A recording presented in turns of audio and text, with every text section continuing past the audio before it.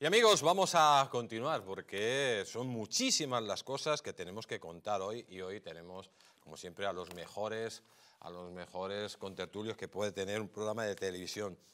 Miren lo que dice la siguiente noticia. Dice, el PSOE habla de ruptura con Puigdemont y la legislatura está vista para sentencia. La verdad que llevan ocho meses, 35 derrotas y, amigos, Puigdemont le trae por la calle de amargura a Pedro Sánchez. Tenemos para hablar de este tema con nosotros al diputado nacional, don Carlos García Danero. Buenas noches, don Carlos, ¿cómo está usted? Hola, ¿qué tal? Muy bien. Don Carlos, em, ¿va a romper de una vez por todas Puigdemont con el PSOE? Y si se diera, si se diera esto, eh, habría, lógicamente sería muy difícil una moción de censura, pero Sánchez convocaría elecciones o seguiría gobernando sin, sin el apoyo del Parlamento como está haciendo hasta ahora? Bueno, el Sánchez va, a seguir eh, hasta que él crea que, puede seguir, es decir, que, que tiene opciones de, de, conformar luego otra mayoría después de un resultado electoral y tal.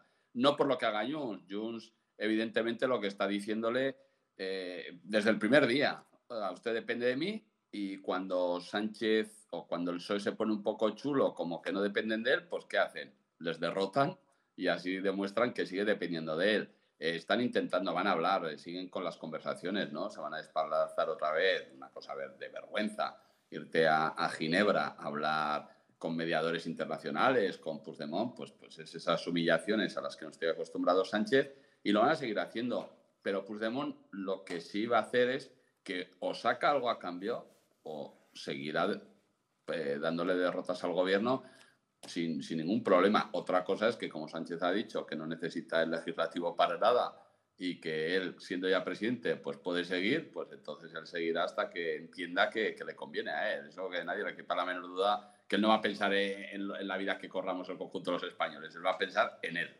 Mm. Eh, don Carlos, quería preguntarle también por esas declaraciones del señor Pons, donde acusa directamente al gobierno de Sánchez de colaborar con el golpe de Estado en Venezuela. ¿Cree usted que tiene que pedir disculpas Pons por decir la verdad? No, va a pedir disculpas Pons. O sea, aquí es que esto es muy, esto, bueno, pues porque es muy serio el tema, pero claro, o sea, el gobierno de España te dice, no, no hemos negociado nada con Venezuela. Y te sacan las imágenes te sacan, por supuesto, salen Maduro y su gente diciendo, ¿cómo que no hemos negociado nada? Pero a ver, que si no este hombre, ¿cómo, cómo lo hemos sacado de, le hemos dejado irse de, Venezuela? Porque lo hemos pactado, claro que hemos, que hemos hecho acuerdos.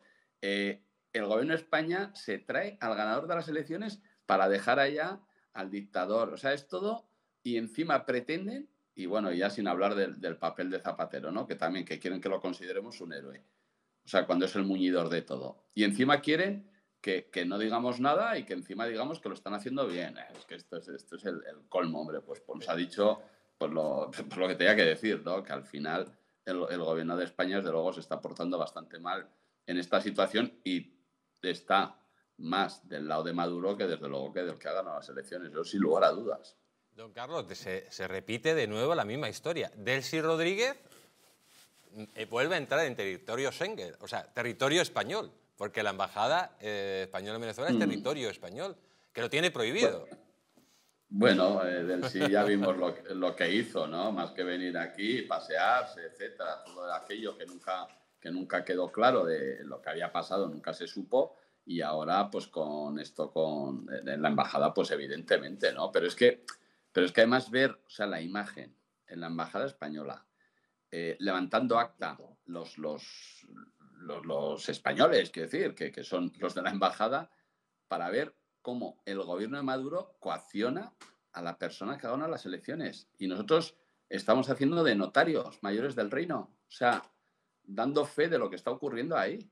es que esto, eh, dicen, Álvarez, claro que, bueno, Álvarez, de hecho, el, creo que, el, el, el miércoles no está la sesión de gobierno, porque dice que no puede ir. O sea, no quiere dar ninguna explicación. Álvarez se tenía que ir a su casa y, Sánchez pues también, ¿no? Pero desde luego Álvarez tenía que estar ya en su casa con esta situación.